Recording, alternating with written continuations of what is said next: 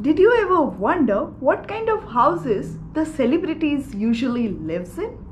All your famous Hollywood stars and their bachelor pads, there is no way you might have never imagined about it even once. Hello everyone, I am Akansha and you're watching my channel AV where fun never stops.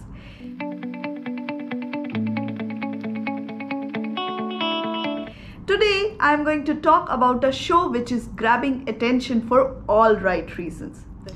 The show is titled as Selling Sunsets and it is currently airing on Netflix. Directed by Adam DiVello, Selling Sunsets is a reality show based out of and filmed in Los Angeles, California. Yes, the Hollywood city has lot to offer us other than giving us the celebrities we absolutely dig in. Selling Sunsets has 3 seasons and the newest season 3 just popped out last week. The show is about a very famous Oppenheim Group's real estate brokerage firm. It is run by the twin brothers Jason and Brett Oppenheim also part of the main cast. The show tries to show the viewers some of the most fabulous houses which literally sweeps the ground beneath you. The real estate agents at Oppenheim Group gets the listing of these unbelievably stunning and enviable homes and they sell it to the prospective buyers.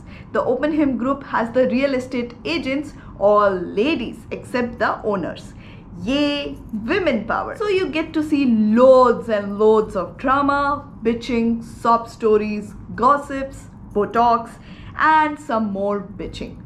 All the leading ladies of this show, Christine, Chrishell, Maya, Heather, Amanza, Davina, and Mary, not only sell houses to the buyers but also have their personal life under the camera as well. So you get to see divorces, weddings, infidelity, and whatnot. My first impression of the show, whoa, they're selling sunsets for sure, and at what exorbitant price.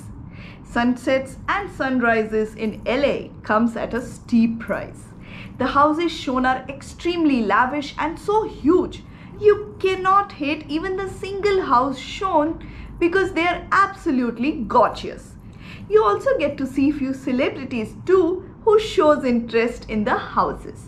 And you start imagining, wow, he or she is going to be living in this mansion. My next observation is plastic and some more plastic. Be it the money or their faces, everything is plastic. All the leading ladies smells of the needles and silicone way deep. In short, it looks over the top.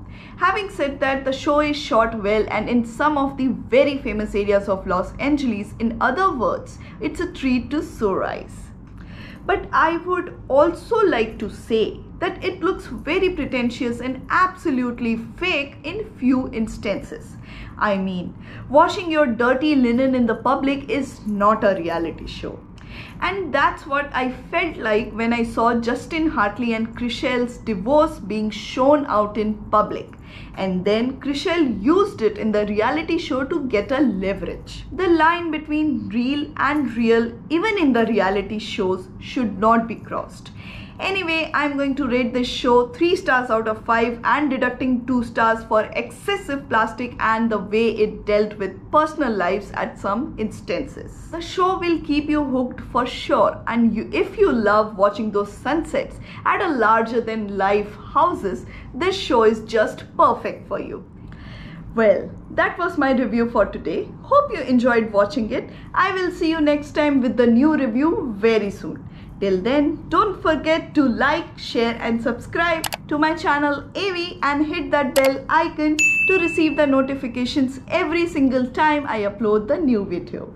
Bye bye, take care.